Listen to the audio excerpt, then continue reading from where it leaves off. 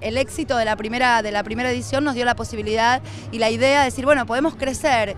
Y acá estamos, hoy con un festival que no tiene nada que envidiarle un festival europeo. Tenemos más de 200 películas, digo.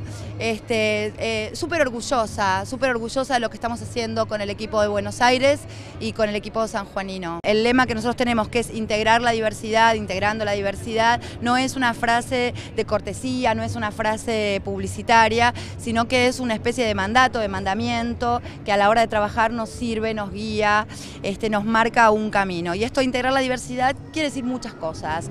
En términos puramente cinematográficos, de producción cinematográfica, quiere decir integrar diferentes formatos de producción, eh, películas de alta factura técnica, películas de más de autor, digamos, el festival tiene un corte de diversidad precisamente. Yo creo de verdad en esto que hago, yo creo en lo que hago, creo en que, en que la integración es básicamente y en primer lugar siempre cultural y luego viene lo otro. Solamente lo que vivimos en San Juan, eh, una provincia que durante alguna época no se destacó mucho en el, a nivel nacional, no se hablaba de esta provincia, que hoy podamos hacer un festival, su tercera edición, internacional, con los países que conforman la UNASUR, y que a medida que van pasando las ediciones va tomando más importancia, más, más jerarquía, estamos muy orgullosos, porque para nosotros tiene dos objetivos. Uno, eh, promocionar en la provincia un, hecho cultural importante como es el cine.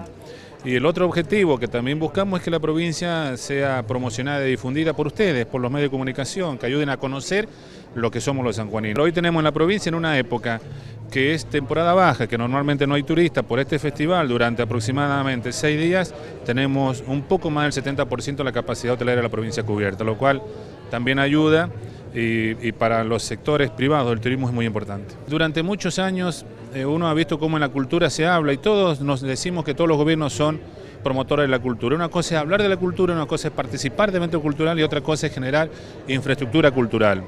Eh, en San Juan, con el gobierno de Gioja, lo hemos hecho y lo seguimos haciendo.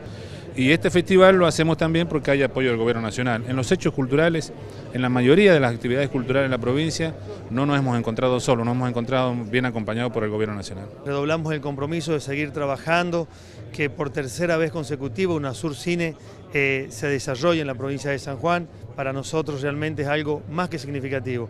Cuando digo para nosotros, obviamente hablo del gobernador de la provincia, ingeniero José Luis Gioja, hablo de este vicegobernador, pero fundamentalmente de todos los sanjuaninos. Creo que la importancia de esto está dado desde los albores, desde el inicio del cine argentino hasta la fecha, hay distintas etapas que se podrán describir perfectamente. Que eso se pueda recopilar y se pueda mostrar en este, en este tercer Festival UNASUR, me parece que es muy, significa mucho orgullo para nosotros. Pero aparte, que la provincia sea tenida en cuenta para el desarrollo de un evento de tal naturaleza, me parece que también habla de que, bueno, de que nos, por lo menos nos hemos esforzado, hemos estado a la altura de las circunstancias y en esto un gran agradecimiento a Paula de Luque, directora del Festival UNASUR Cine, y por supuesto a todos los que colaboran con ella por habernos elegido una vez más para ser anfitriones de este gran festival.